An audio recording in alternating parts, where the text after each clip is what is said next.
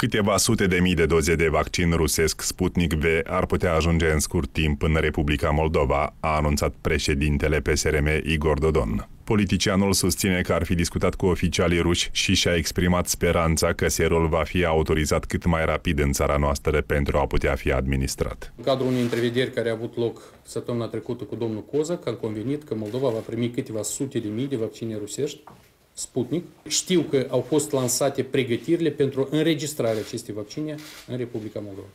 Sper că nu vor fi impuse careva obstacole artificiale. Autoritățile de la noi au anunțat anterior că vor fi autorizate doar vaccinurile aprobate de Organizația Mondială a Sănătății. Vaccinul rusesc Sputnik V nu a trecut toate etapele de testare.